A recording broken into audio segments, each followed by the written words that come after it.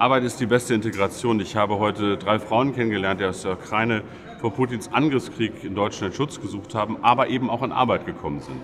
Und von diesen guten Beispielen brauchen wir mehr. Mit dem Jobturbo wollen wir dafür sorgen, dass mehr Geflüchtete jetzt in Arbeit kommen können.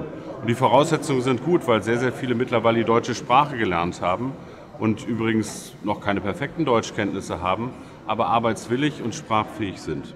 Deshalb bringen wir heute die deutsche Wirtschaft und die Sozialpartner an einen Tisch, die Jobcenter auch, um dafür zu sorgen, dass der Jobturbo gelingt. Arbeit ist die beste Integration, Arbeit bringt unser Land voran und die Orientierung ist jetzt klar, auf in die Arbeit.